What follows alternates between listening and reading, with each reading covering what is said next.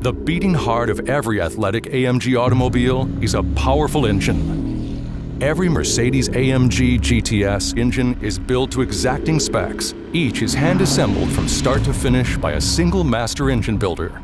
A special plaque is affixed to the engine bearing the actual signature of the builder, proving that at the heart of every AMG is a soul.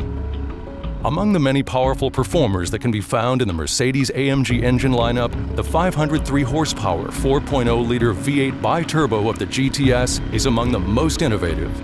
The 4.0-liter bi-turbo's two turbochargers are mounted within the engine's valley, in the V between the cylinder heads, rather than alongside the engine. Engineers call this revolution of technology the hot inside V. This design increases throttle response, power and efficiency, while reducing the overall dimensions and weight of the engine.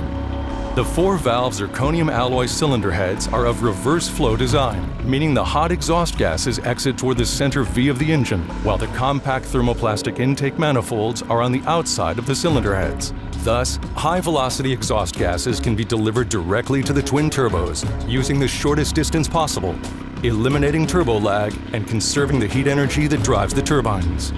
The turbos pressurize air for combustion and pack up to 2.3 times more oxygen atoms into the cylinders than would a normally aspirated intake system. The result is massive power and outstanding efficiency. While the hot inside V configuration is inherently compact, Mercedes AMG engineers take space-saving design a step further with a dry sump lubrication system that eliminates the conventional oil pan and allows the engine to be mounted 2.2 inches lower than would otherwise be possible.